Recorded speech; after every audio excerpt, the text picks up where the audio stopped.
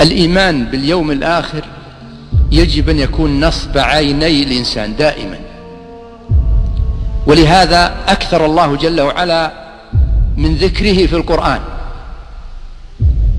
وخوف من وقوعه كثيرا. يا أيها الناس اتقوا ربكم. إن زلزلة الساعة شيء عظيم.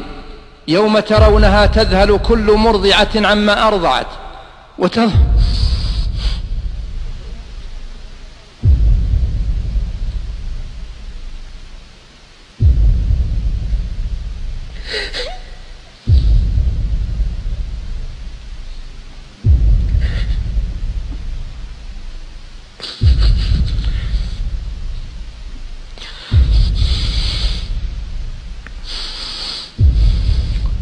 وتضع كل كل ذات حمل حملها وترى الناس سكارى.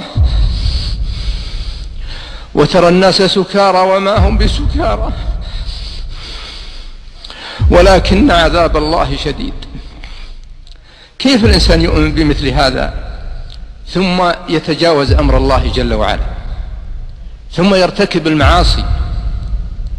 وكيف يؤمن بالنار وبالجنة؟ ثم يغفل عن ذلك.